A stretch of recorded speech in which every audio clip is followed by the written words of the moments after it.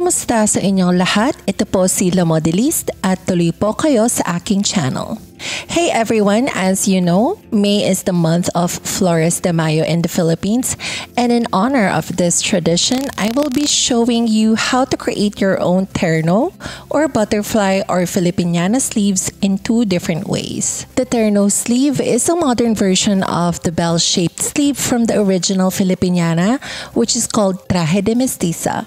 But don't worry, I will cover that in more detail in our next tutorial.